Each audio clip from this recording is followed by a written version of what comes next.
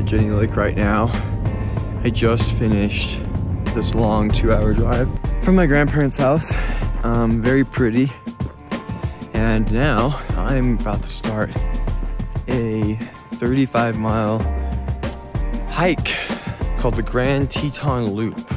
Late night all trail searches can really do you in at times, and that's what has happened today for me, I think. We'll see, it might be a good day. I was supposed to do the Teton Crest Trail today, but I needed a shuttle. Dave didn't want to shuttle me.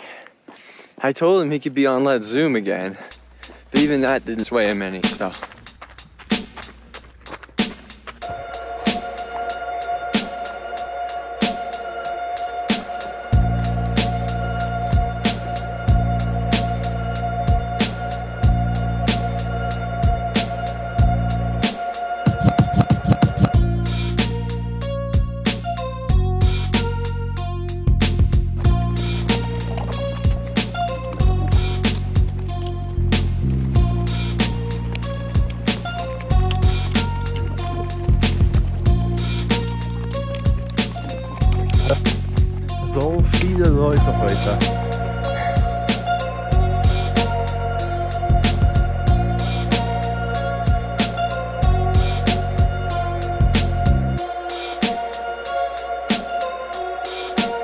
have a vivid memory of me a couple days ago at home in my room, about to leave, looking at my shelf, wondering if there's anything else that I needed to pack and my eyes fell upon the can of bear spray that hasn't been used and that I've had since Gannett Peak last year, which you can watch if you click right up there or there.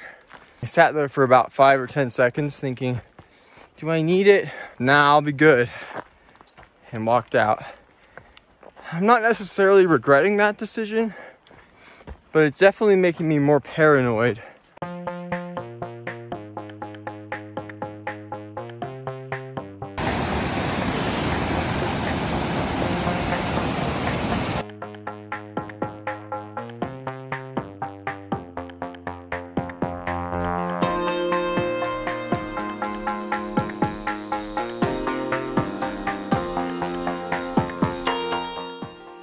about 12 miles, moving pretty well. I got out of a family reunion to do this, so I'm super happy about that.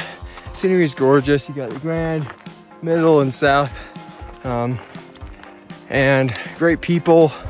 Just having a really good time. And the best part is not having to go to a family reunion.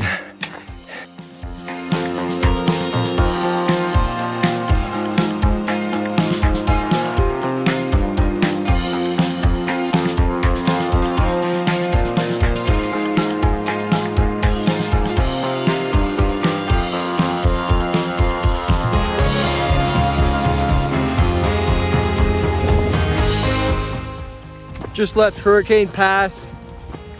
And holy smokes, guys, you cannot beat this. Look at these wildflowers behind me, man. Holy. And not only that, but I am on my way to this beautiful turquoise lake out in the distance.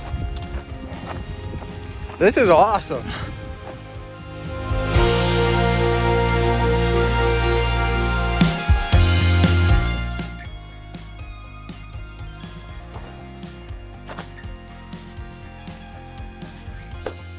Okay, so after that, that was the last clip that I actually filmed for the whole trip.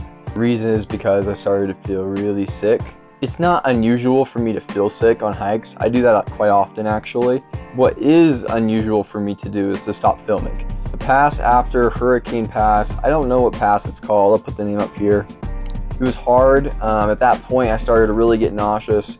Um, started to cramp up a bit and the heat was getting to me. It was probably high 80s.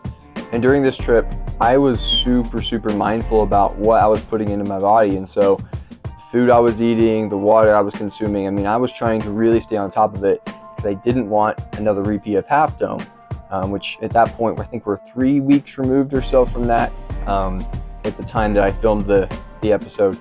And so um, I was it was still fresh in my mind, and I did not want to repeat that in any way, shape, or form. And continuing down the trail, um, it started to just get worse and worse and worse. I was just laying on the ground. Um, there was a point shortly after the ranger cabin in Death Canyon, so probably about three and a half miles from the Death Canyon trailhead, um, where I saw some water and I decide I'm gonna soak my ankles um, and change my socks. After just a couple minutes of, of relaxing, um, I threw up about seven times straight into the water. Shortly after puking, I had to get, get to the shore because my whole body was cramping, just like Half Dome. So I, I, had to stretch out and by myself just kind of work through the cramps and the uncomfortable uh, pain that was going all the way through my body. Um, and that lasted for probably half an hour or so. It was really, really violent shaking and just, uh, I couldn't really control what I was doing. So I, at this point, I called my mom and dad who were on vacation with me. Um, they were on, they were at a family reunion. And so I, I called them, I was like, hey, like, would you be able to meet me at Death Canyon Trailhead? I don't think I'm going to be able to get back to Jenny Lake. Um, I never do this. This is a last resort of last resorts. I do not want to call my parents because at that point I'm admitting, yeah, I kind of screwed up um, and I should have been a little bit more careful, more mindful, or there was something that I didn't do that I could have done to prevent now them being inconvenienced and having to come two hours out of their way to come get me. After a few miles, uh, probably about two miles, um, I got a call from the Grand Teton Search and Rescue. And they were in contact with me from my mom, um, and they decided, hey, we're gonna we're gonna send someone up to meet you. Uh, I said, okay, cool, and talked to them a little bit. And this time, I saw a bear. Rolled a clip. It's a bear. I, it scared me so bad. I right in front of it on the trail. Holy smokes. I stay at my distance, but I have to document it. Wow. And that was pretty intense. Um, I was on the phone with search and rescue at the time of this, the bear. I mean, we were literally five feet away on the trail and I just wasn't paying attention. I was already pretty out of it anyway. So the bear comes right there. Luckily, he had no interest in me and just bounded off. A few minutes after that, uh, a little bit further down the trail, I decided, hey, you know, um, I really need to just take a little take a little breather. Um, I was starting to feel lightheaded and they said in your condition, you could definitely uh, experience some dizziness, maybe even pass out. So if you start to feel that way at all, make sure you sit down, maybe even lie down so you don't bash your head on a rock or something. I was laying down, I was super weak, trying to call out, hey bear, but I, I knew I wasn't loud enough to really make any difference. So I started to play music on my phone as loud as I could. Um, here's a little clip of me singing a German song with the lyrics "Mir geht's nicht wirklich gut," which means I'm not doing very well, which uh, kind of described my situation at the time.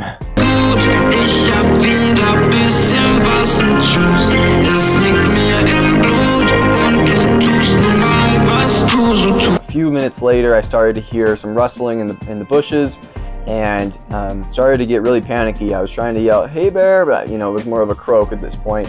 Um, and there was no one that was around me. So I kept hearing that getting a little closer, a little closer. And at one point I heard it and it couldn't have been more than a few feet away from me. A branch just broke um, and I shot up and grabbed my stuff and did a sprint. Wasn't much of a sprint, I don't think, but as fast as I could go in the opposite direction, heading down the trail. Um, and I looked behind me and yeah, it was another bear. And I don't know why it didn't want to chase me because I was running. Um, but it, luckily it didn't because he could have had me if he wanted to. Um, I was not in any way to outrun him, that's for sure. I quickly discovered the consequences of me jumping up and, and running away as fast as I could go, and that was more puking, um, which was really disappointing because I had been working hard to put back some more calories into my system from the last time I puked. Um, here's a video of me doing all that. Um, viewer discretion is advised.